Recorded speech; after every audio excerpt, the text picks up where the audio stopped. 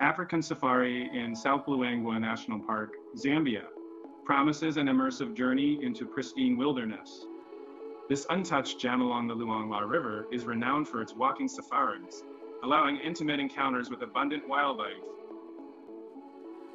Leopards, elephants, and a profusion of bird species thrive in the diverse ecosystems, from open plains to riverine woodlands. The park's nocturnal game drives unveil a different world of predators and their prey. Rustic bush camps offer an authentic safari experience where the sights and sounds of the African bush create an unparalleled adventure in the heart of South Luangwa's untamed beauty.